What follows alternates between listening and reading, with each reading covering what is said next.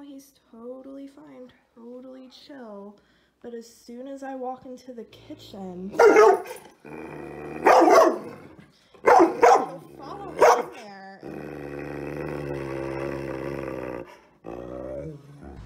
Hey guys, how's it going? Josh, off leash canine trainer Hampton Roads. I'm here with Cooper. So Cooper here, you know, he comes with a little bit of aggression issues. Um, I think it's more anxiety towards mom. He kind of feeds into it.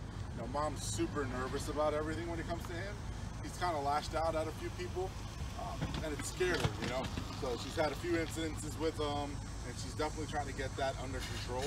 So he does lack confidence, which probably the majority of the reasons he lashes out because he's unsure, and then mom's anxiety added into it. It doesn't really help. So we're gonna work. I'm gonna get him gonna get out in public and uh, you know take them to as many different places as I can get them to, get them around as many people as possible as well. So make sure you check back with me and find out how Cooper did.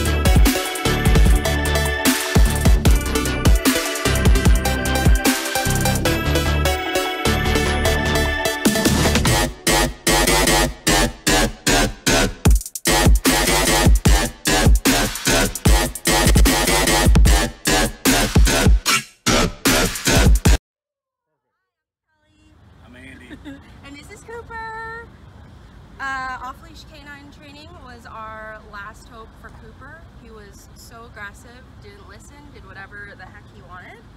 And now I was able to walk him in Lowe's by myself with complete confidence.